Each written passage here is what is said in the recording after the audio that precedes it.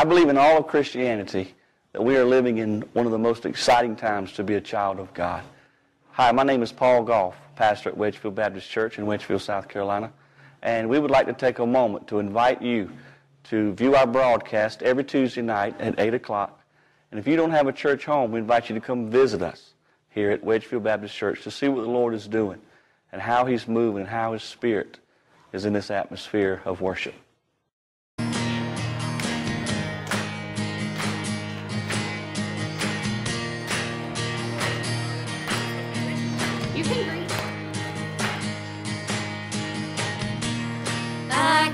Cannot stay silent. I will not hold back. I want to open up and let the things roll out. I'm overwhelmed by your love, your faithfulness at all times. When my heart was hurting, it made things all so right. I'm never gonna stop, never gonna stop.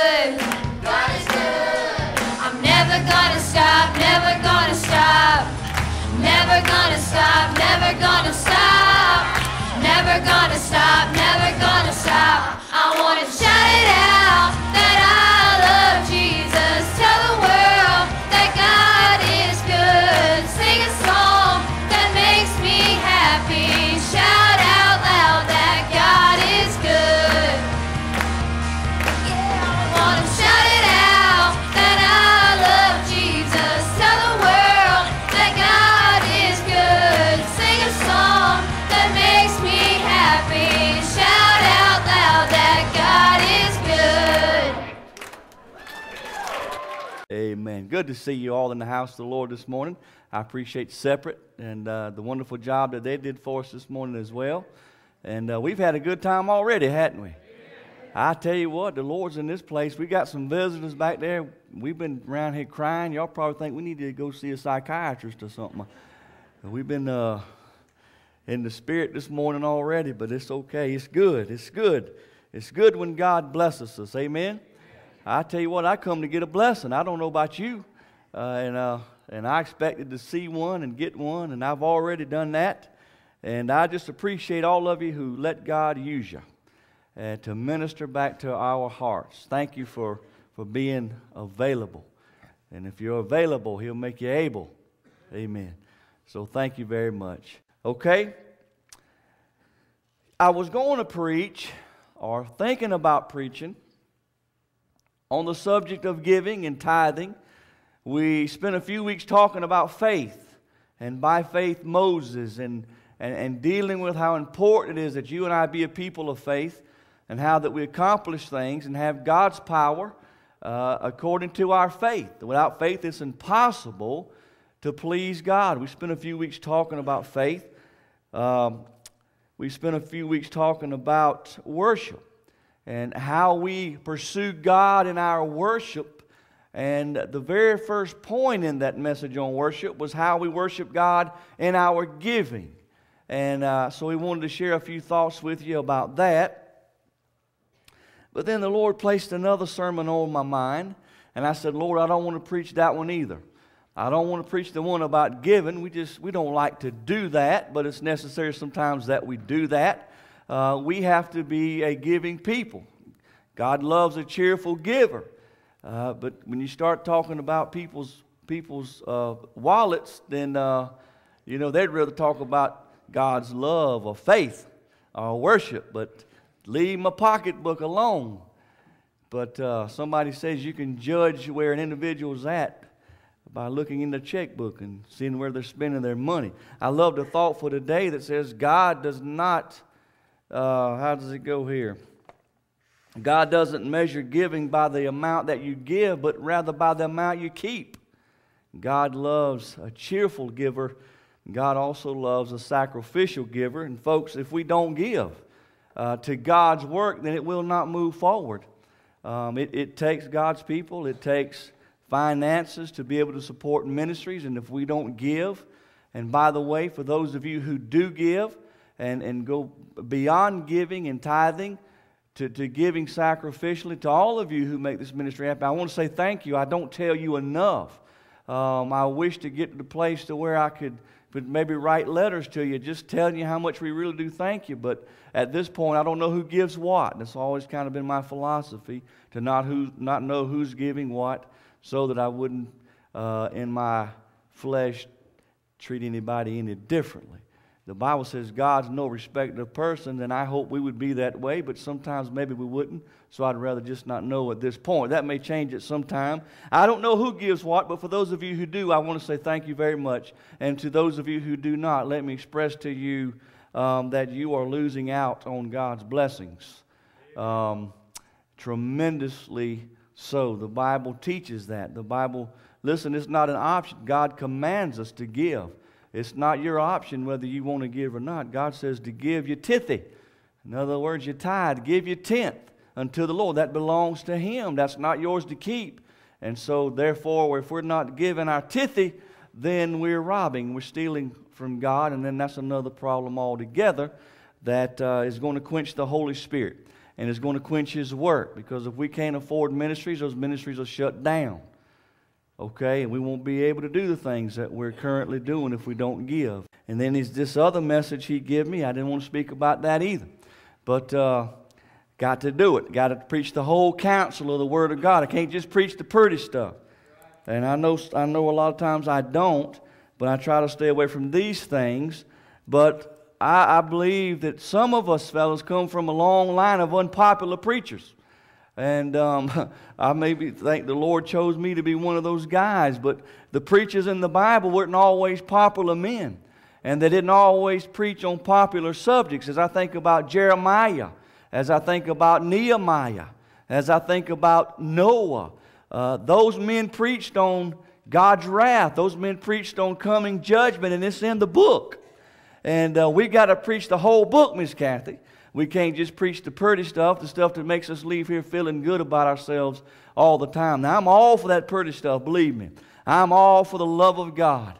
No greater love has this than a man lay down his life for his friends. For God so loved the world that he gave his only begotten Son. But God commendeth his love toward us. Herein his love, not that we loved God, but that he loved us. And, and all of those things. I'm all about that. And I thank God for his love for you and I. I thank God that nothing that you and I have ever done or will do can change his mind about how much he loves us. He loves us regardless of who we are, he loves us regardless of where we've been. He loves us period. That's the way He is. The Bible says God is love, and I'm all for that. Amen. I'm all about the grace card. Amen. I'm all about graceful by grace are you saved? I'm all about those things. I love to preach them. I'd love to preach about grace and salvation every single time I got in the pulpit. And I'd love to make you feel good. And I'd love to make you feel all warm and fuzzy when you left every time. But amen, the preaching of God's word brings conviction upon our hearts. And sometimes we need to hear the truth. I like the way Jude said it. He's talking about two different styles of preaching here. He said, and of some have compassion, making a difference. Now that's preaching the love stuff. That's preaching the Calvary stuff, the good stuff. But listen to the next verse. He said, and others save with fear, pulling them out of the fire, hating even the garment spotted by the flesh. That's two different styles of preaching. That's the love preaching that we hear a lot of, and that's the hellfire and brimstone preaching that we used to hear a lot of. Some people get saved by that love preaching, and some people you got to scare the hell out of them. I hope you got that on camera. I meant what I said. But that's what the Bible teaches. All right? So we got to preach the whole counsel so we can reach the whole group so that all men everywhere can have an opportunity to receive this great salvation. Now, this is going to seem like a contradictory of terms because the choir just sang forever, God is with us. And then we titled this message, When God Gives Up. wow, it seems like a contradictory in terms, doesn't it? Well, just so you'll know that I'm not giving you some hogwash, turn to Romans chapter 1. And I'll let you read it for yourself. I'm going to read it very slowly. You read it with me. It does a pretty good job all by itself.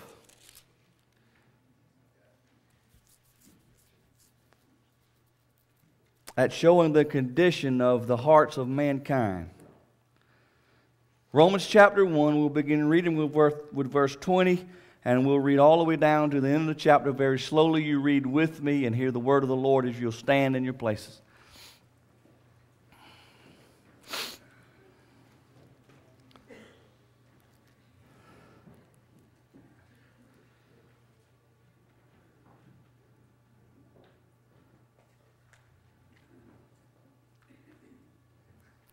Verse 20.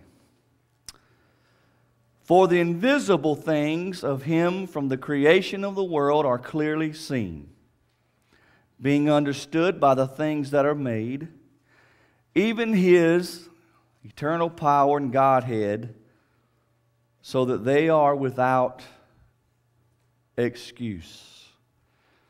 When you and I see creation and all the wonderful things that God made, there's something down deep in our hearts that tell us there was a creator. That's what the scriptures are saying.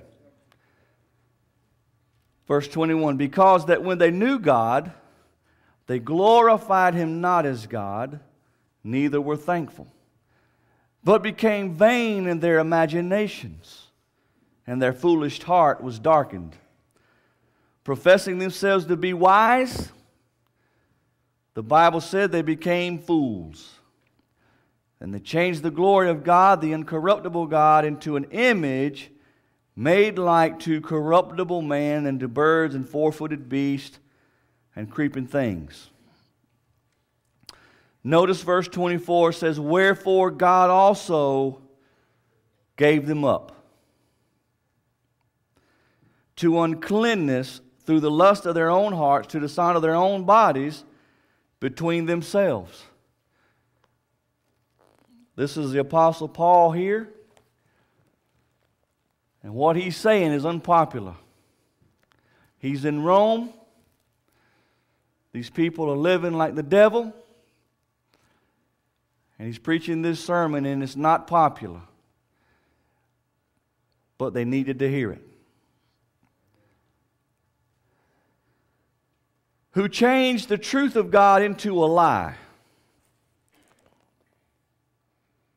and worshiped and served the creature more than the Creator who is blessed forever. Amen. Notice verse 26 For this cause God gave them up unto vile affections, for even their women did change the natural use into that which is against nature. And likewise, also the men leaving the natural use of the woman, burning their lust one toward another, men with men working that which is unseemly, and receiving in themselves that recompense of their error which was meet. Notice verse 28 And even as they did not like to retain God in their knowledge, God gave them over. Third time, God gave up. To a reprobate mind. That word reprobate theologically means beyond salvation. No hope. They can't get saved because God gave up. That's scary. That's scary, folks. That's three times we've read already where the Bible says there is a time, there is a place, there are people who God will give up on. That's a scary thought to me, in my mind, anyway. Anyway, over to a reprobate mind to do those things which are not convenient.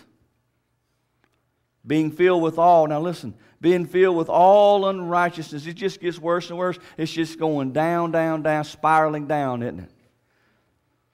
being filled with all unrighteousness, fornication, wickedness, covetousness, maliciousness, full of envy, murder, debate, deceit, malignity, whispers, backbiters, haters of God, despiteful, proud, boasters, inventors of evil things, disobedient to parents, without understanding, covenant breakers, without natural affection, implacable and merciful. Listen to verse 32 who knowing the truth of God, or who knowing the judgment of God, rather, that they which commit such things are worthy of death not only do the same, but they have pleasure in them that do them.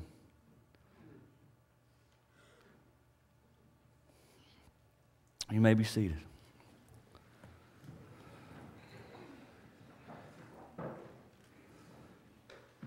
Pray with me, please. Father, in your lovely name we come and we thank you, Lord, for the privilege to be in your house. Father, we thank you for the whole counsel of the Word of God, the good, the bad, the ugly. None of those things refer to you or your word, but rather to mankind.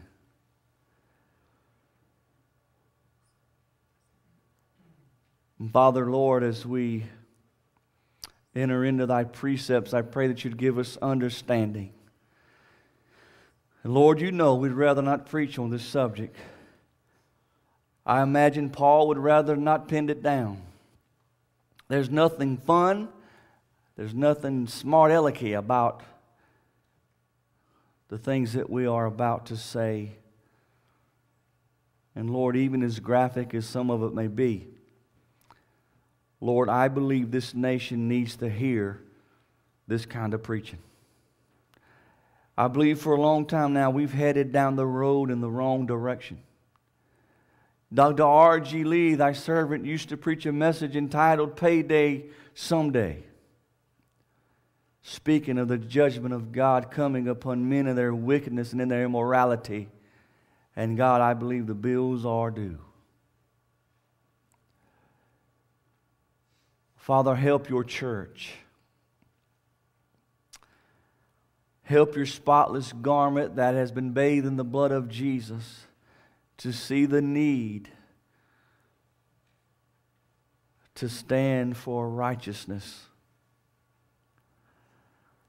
Father, I believe we live in a day, Lord, that we have decided to go along to get along. Lord, I believe we have let the walls down. And I believe rather than standing against, we are standing with. I believe we're living in a time where you can't tell the difference between the church and the world.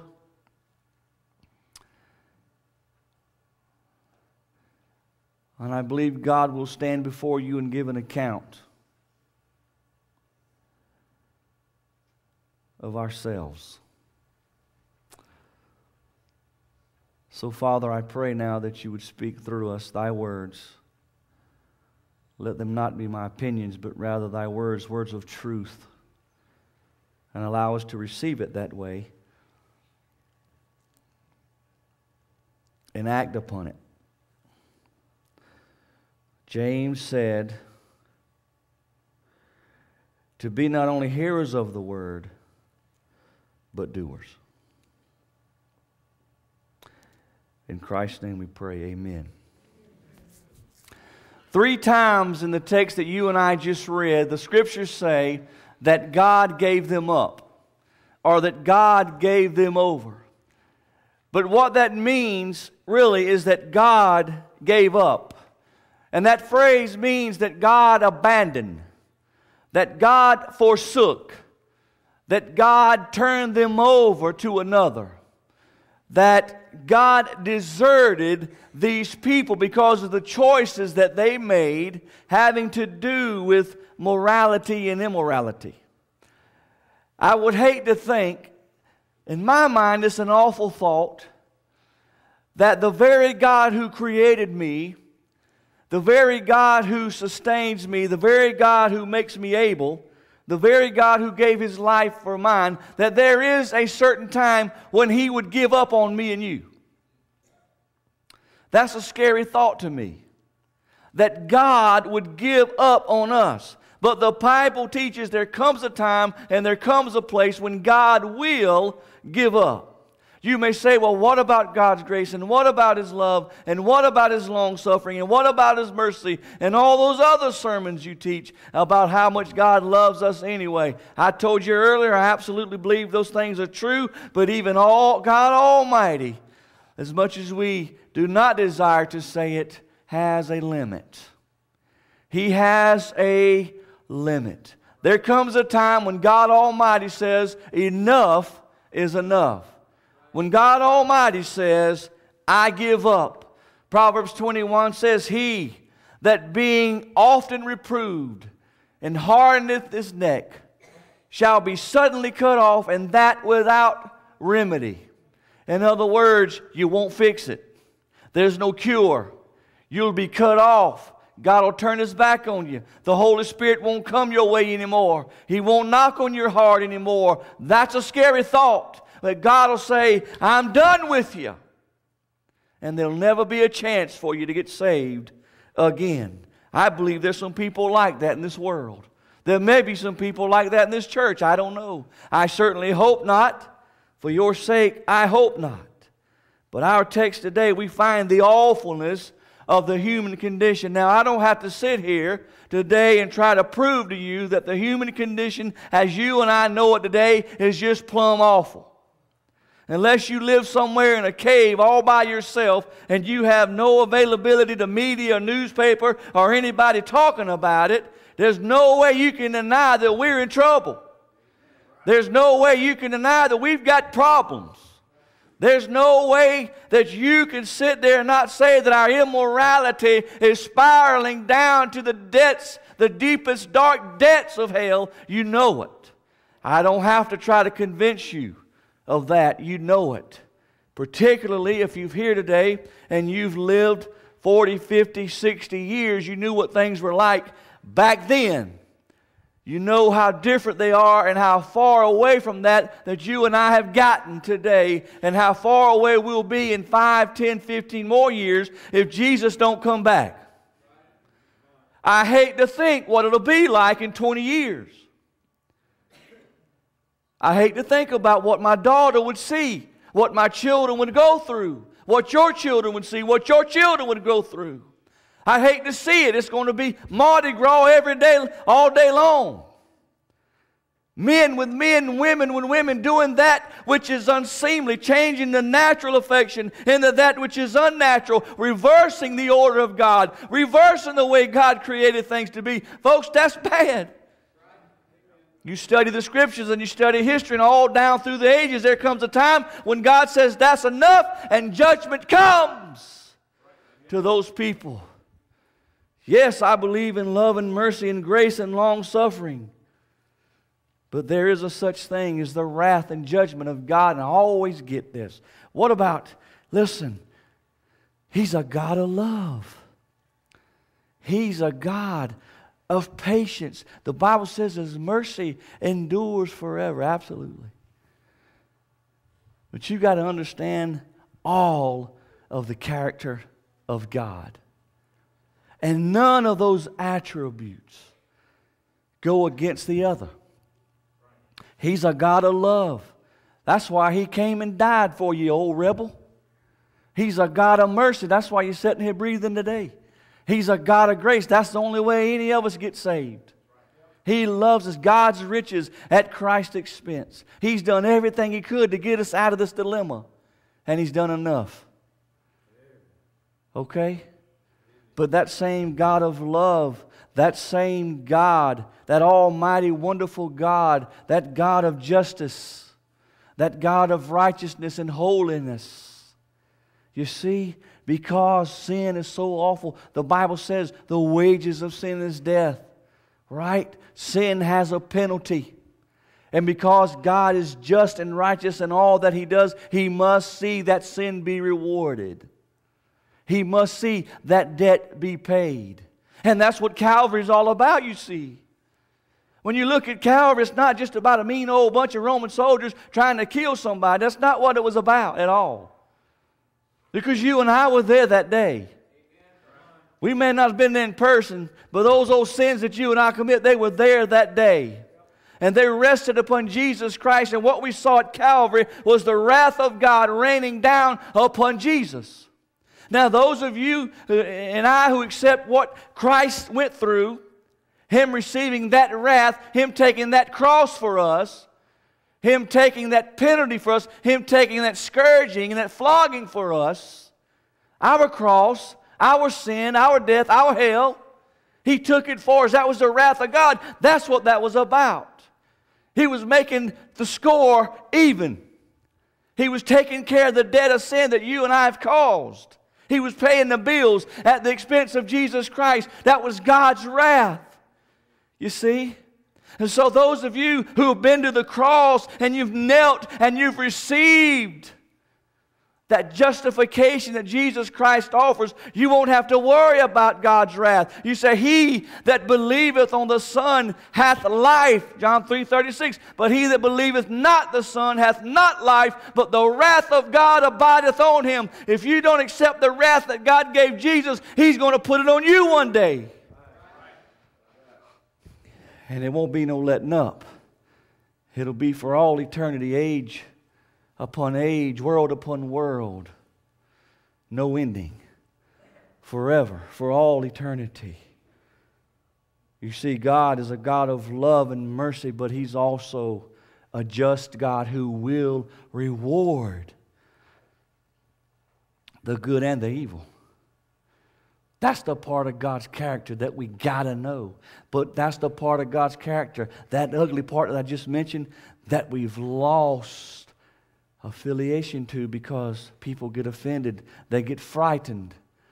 They leave the house of God somewhere between the house of God and, and the huddle house or the golden corral. Conviction sets in, and they say, I'm not going back over there anymore because I don't like feeling this way. They'd rather have the cotton candy stuff. I'll give you some cotton candy next week, but today we got to do what we got to do.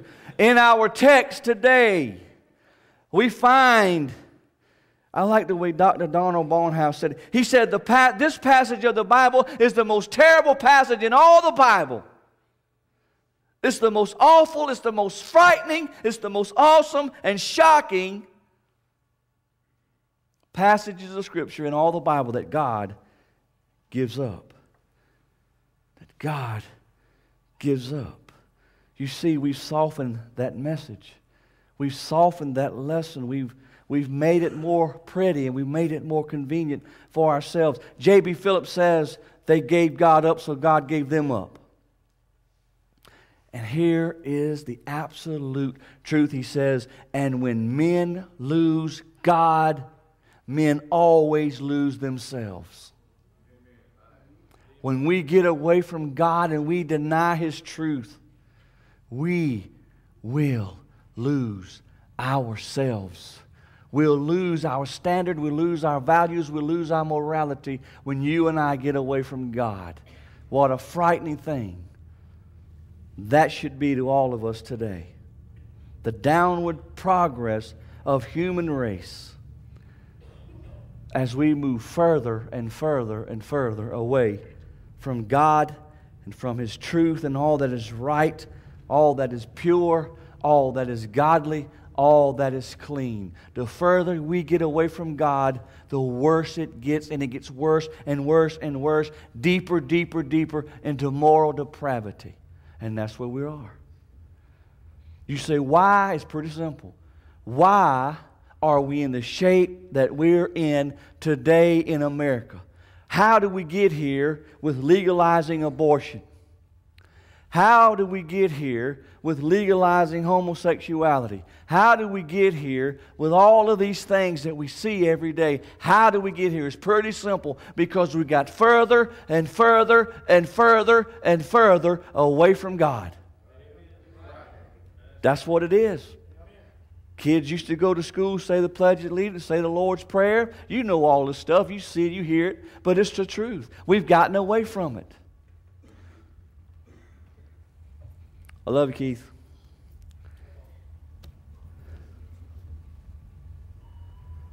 And because we've gotten away from it, we are suffering the consequences today.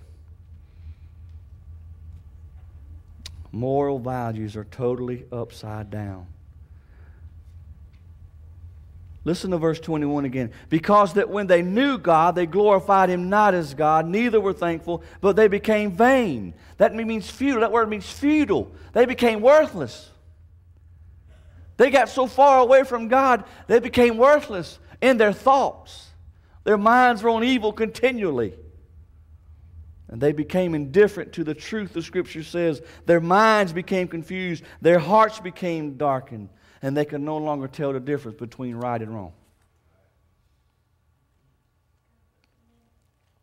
It's scary. Three times, three times, God said, I'm done. And listen to the three things he says.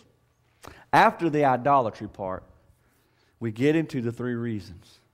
The first one is a widespread of sexual immorality.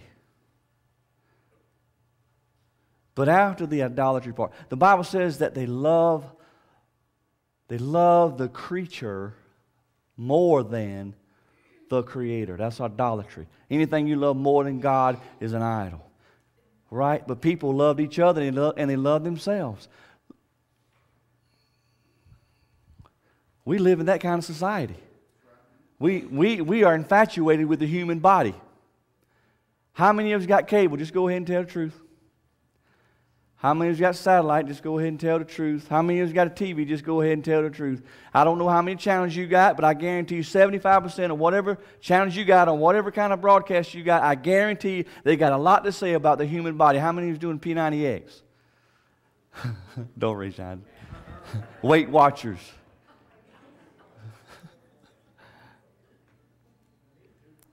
It's all about beauty products and, and, and facial products and hair products and how to lose weight, how to lose weight, how to lose weight. We need to lose weight, but we're infatuated with the human body. That's idolatry. Right? We love the creation more than we love the creator. And we're caught up in those things.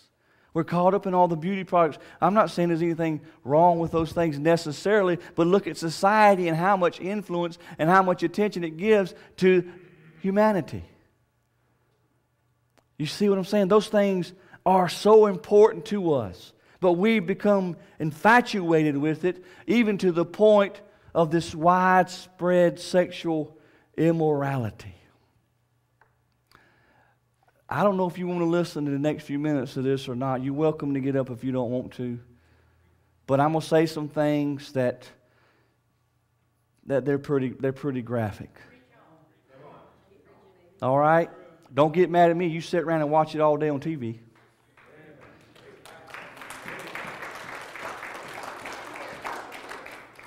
Don't tell me not to let your children watch when you let them watch it at home.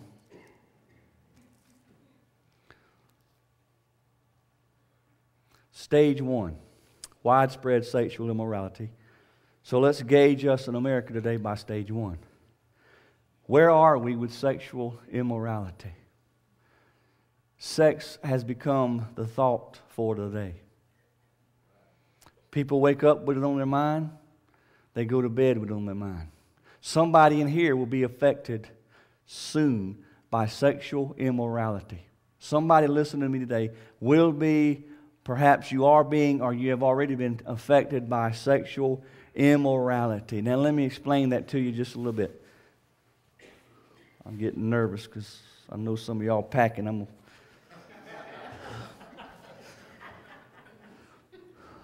We'll talk about pornography. You can go in almost any convenience store and it's there on the shelf.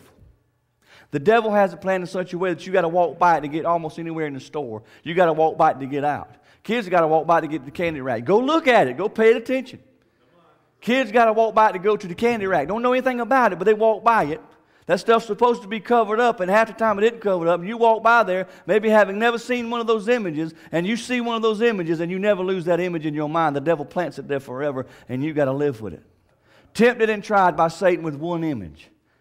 The problem with that image for most people is that one look is not enough. They want to go back get another look, and so that's when they begin the journey of immorality.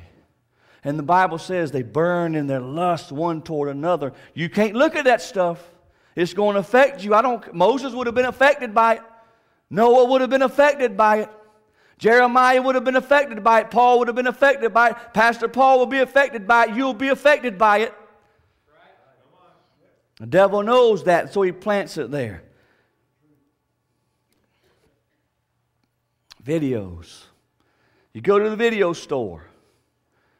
You watch, you can try to watch a clean movie and you wind up seeing things and images that you you shouldn't have seen and you wished you didn't see. The internet, one button away from anything you want to see.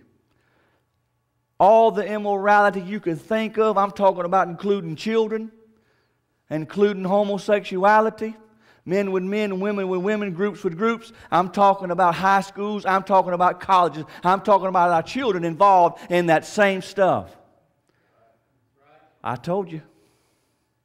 We are living in a time right now to where it's cool for girls to be with girls in high school. And if you're not one of those, it's not cool. We're living in a time to where young women, I ain't got my phone with me, young women are taking pictures of themselves nude and sending them by way of cell phone to boys who are viewing them and boys who are taking pictures of themselves and sending them to your girls who are viewing them. Sexting. And boy, it's so easy to do, and nobody knows anything about it but God. And this, this is happening. There are people in here right now today doing it. You say, Preacher, surely nobody in the Baptist church would do anything like that. It might be worse here, but it's here. And it's wicked and it's evil and it affects us. Brother Avon and I went and ate dinner this week at a restaurant here in town. And this is going to be bad. This is going to be bad. I'm warning you right now. You get up and leave, but I'm, I'm just telling you the truth, okay? We were in a restaurant, a public restaurant here in town. We were eating a meal and we were talking about Jesus. I mean, we had got to talking about Jesus so much that he was crying and I was crying and we was having a good old time in the Lord, and there was a TV in this restaurant. When we first got in there, it was on a vacuum cleaner commercial. And I had a thought right then. I said, You reckon they think we want to sit here and watch a vacuum commercial while we eating? Why can't they put it on the news or ESPN or something, you know, besides a vacuum, a Shark vacuum or whatever? But anyway, then the next thing I know, I'm going to say what it was. It was the days of our lives that come on. Oh my God, I know some of y'all watched that. I'm going to get in trouble right here. And you saw it. You saw it. You're going to know what I'm talking about. You can say, Yep, I know he's telling the truth now because I saw it. But anyway, they were in there having a photo shoot with a man and a woman, and both of them was naked. Avon, Brother Avon, am I lying? You just sang that. Don't be lying. but and, and they were and they were loving up on each other like two dogs in heat. That wasn't the worst part. The worst part was the four women over in the corner watching them who got all hot and bothered watching it.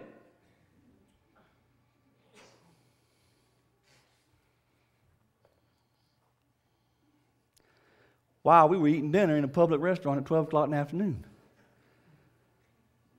If I'd had Allie with me, she'd have saw it. If I'd had Colby with me, he'd have saw it. If we'd had Brendan with us, he'd have saw it.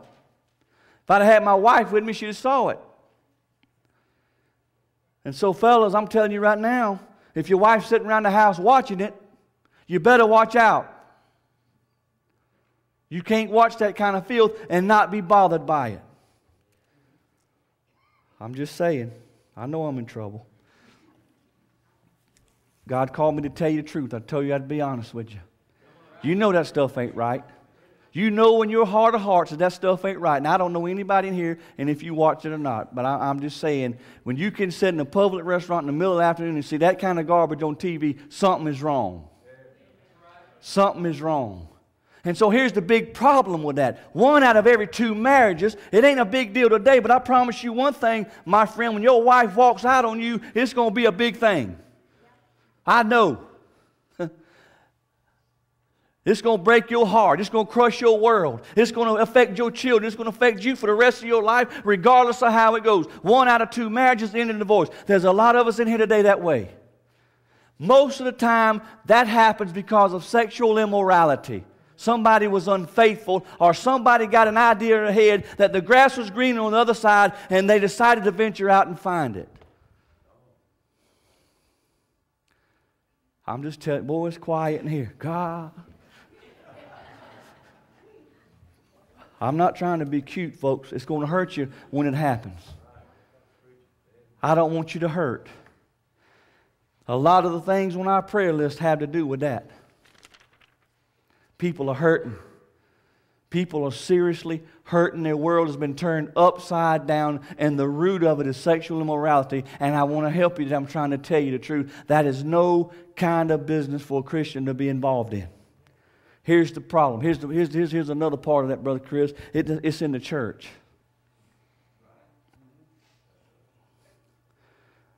It's in the church. Preacher, that stuff couldn't happen in the church.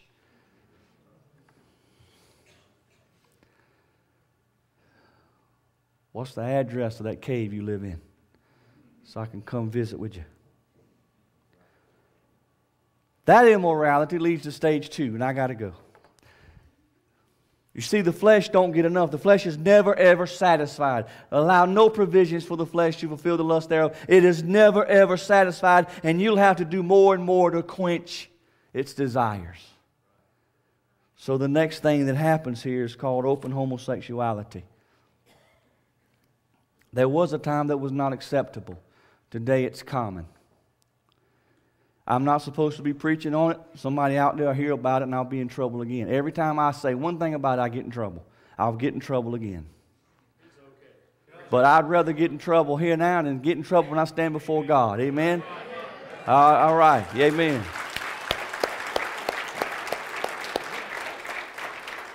Listen to the Apostle Paul 2,000 years ago. For this cause God gave them up unto vile affections. For even their women did change the natural use into that which is against nature. And likewise also the men leaving the natural use of the woman burned in their lust one toward another, men with men, working that which is unseemly, and receiving in themselves that recompense of their error, which was meat. Now I want to make this very, very clear to you. This pastor right here does not hate homosexuals. This pastor right here will never run one off from the church. I love that person, but I hate and I despise that sin. And that's the way you and I have to approach it. Because God will judge that sin regardless of who it is. And some of us have those kind of people in our families. And we love them, don't we? And we care about them and we pray for them and we pray the Holy Ghost will prick their hearts and change them of their wicked ways. Oh, it's going to get good here in a minute. Hold on a minute.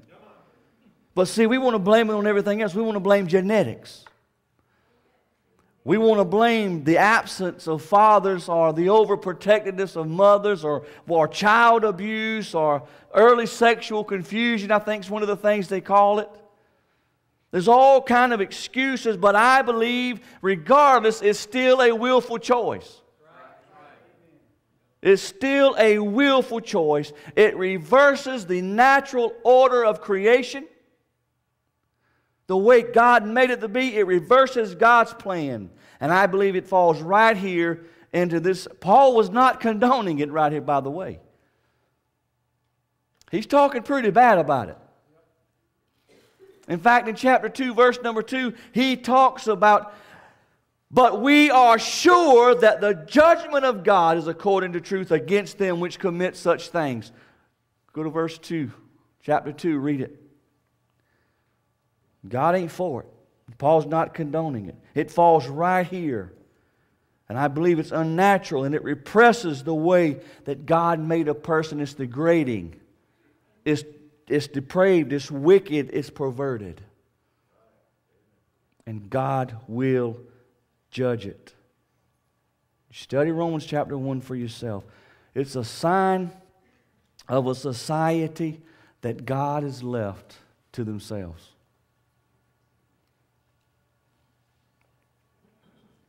I was scared when I started this thing off.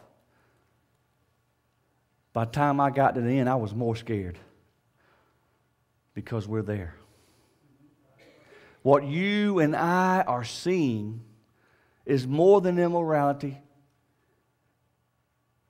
it's a sign of a society that God has left alone. Is there hope for America? Or is it too late? Have we crossed the line? Have we gone too far? That's a big question among preachers, among pastors. Is there hope? Are we too far gone? And there are those who say you will not find America in the book of Revelations anywhere because they're gone. I'll let them argue about that. I hope Jesus comes back first. So, that spiral of immorality, it, it, sexual immorality, homosexuality. Number three, we, we, we're almost done, but it's, it's just unlimited and unrestrained evil. There's just no limits to it. There's no limits to how bad and nasty it can get. It's just no limits to it. And even as they did not like to retain God in their knowledge, God gave them over to a reprobate mind to do the things which are not convenient. Being filled with all unrighteousness, listen, it just goes worse and worse and worse. Being filled with all unrighteousness and fornication, wickedness, covetousness, maliciousness, full of envy, murder, debate, deceit, malignity, whispers, backbiters, haters of God despiteful, proud, boasters, inventors of evil things, disobedient to parents, without understanding, covenant breakers, without natural affections, implacable. We can preach on that for three years. All of these different things that these people are involved in who have gotten further and further and further away from God to the point that He says, I give up. Go on, get on with your life, live the way you want to. I give up. See you at the judgment. In verse 32, who knowing the judgment of God, they know it's coming. They know it's coming. Who knowing the judgment of God, that they which commit such things are worthy of death. And they know of the second death. They know of an eternity without God. They know about hell. They know about the suffering and the torment of that judgment. But they've gotten so far, they've been so blinded, their hearts have been so hardened that they don't care. They do it anyway.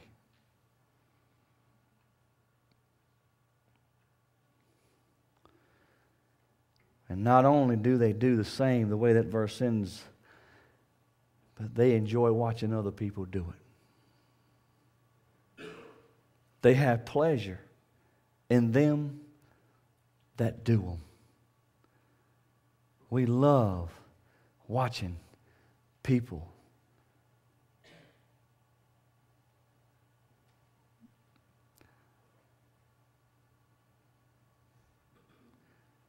doing things that are ungodly, don't we? How many hours do we spend in front of the television watching people get murdered? And then watching somebody try to figure it out. Watching men run around on their wives. We do that. And it's okay. But these verses, it says, it says it's not okay. These verses describe a world that God has left behind, that God is not involved in, that God said, go ahead. That scares me. He's abandoned, he's forsaken, he's deserted these kind of people. And then the third thing about that third stage is that's the final stage before social collapse.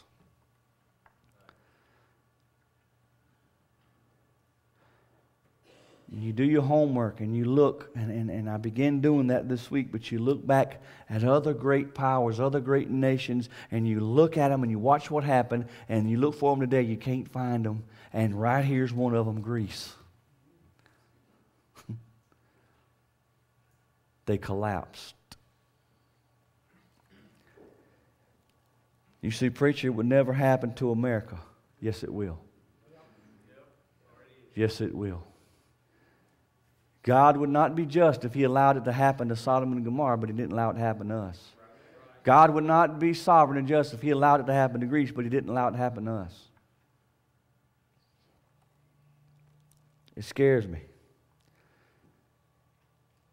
So the question must arise where does society end up when it totally turns away from God?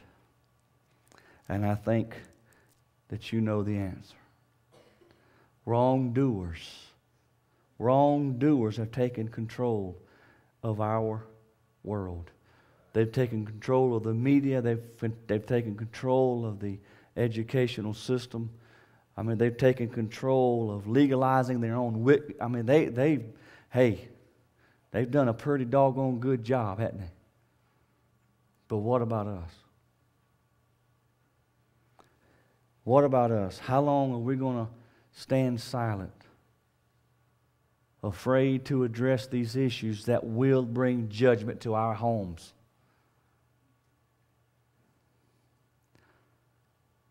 I will stand before God. You will stand before God. We will give an account for not standing for that which is right and moral and pure.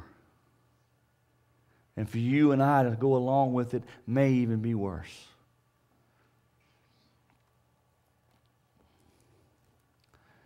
But I got some good news. I got some great news. I don't want to end it that way. Boy, y'all look pitiful. I love 1 Corinthians 6, 9, and 11. Listen to it, it's so pretty. Know ye not that the unrighteous shall not inherit the kingdom of God? That's these people we're talking about. Be not deceived. Neither fornicators, nor idolaters, nor adulterers, nor effeminate, nor abusers of themselves with mankind, nor thieves, nor covetous, nor drunkards, nor revilers, nor extortioners shall inherit the kingdom of God. No way, not by any means, shall any of these people inherit the kingdom of God. But listen to what it says, and such were some of you. Y'all was just like them. Some of y'all were adulterers. Some of y'all were homosexuals. Some of y'all were perverted. Some of us, should I say? Amen. Some, he said, and such were some of you, but here's the good news. But ye are washed, but ye are sanctified, but ye are justified in the name of the Lord Jesus, and by the Spirit of our God, you've been made clean and you've been made whole. It's not too late. You and I cannot save a society. We cannot change a society. It'll never begin in a corporate setting, but you and I can be changed by the washing and regenerating of the Word of God. You say, Preacher, why do you preach things like that? Because those things bring conviction, which allows us to search out our hearts and find a remedy and find forgiveness and find cleansing in the blood of the Lamb of Jesus Christ. Amen. We can't change everybody, but you and I can. I don't know much about what you do when you're not here. Some of you. Some of you I know.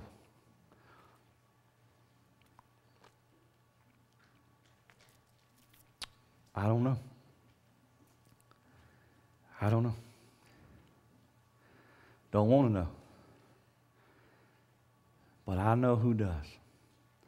The eyes of the Lord are in every place, beholding the evil and the good. He knows. He's keeping records. And He will make us pay the bills. There's a payday someday. You will stand in judgment in the face of Almighty God and give an account and be judged according to everything you've done, whether it be good or whether it be bad. That's a frightening thought. But if you're in this group who's rejected the blood, who's rejected the cross, who's rejected the Savior, you and I won't be at the same judgment. You'll be at the great white throne judgment, and that's not a good place to be because you won't get turned around from that one. It'll be too late to do anything about it.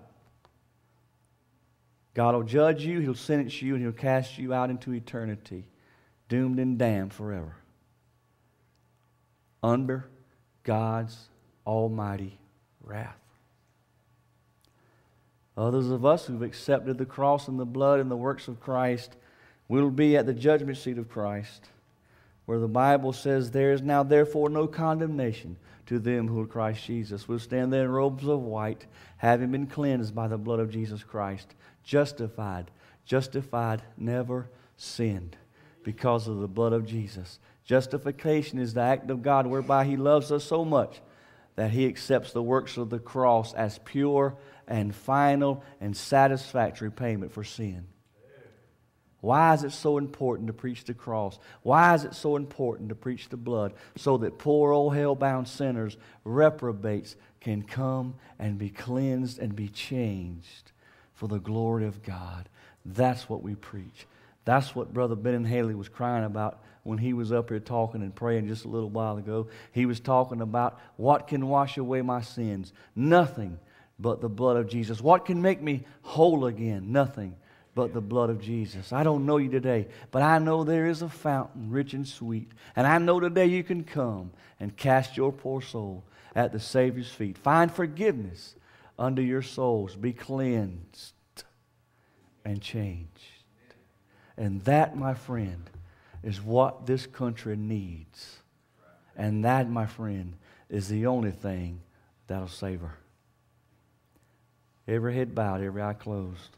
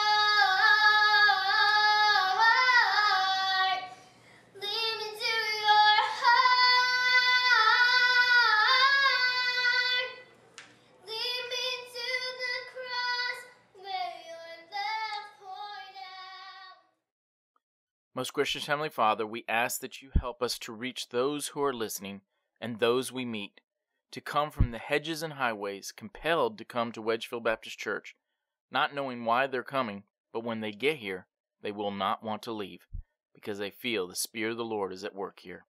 In Jesus' name we pray. Amen.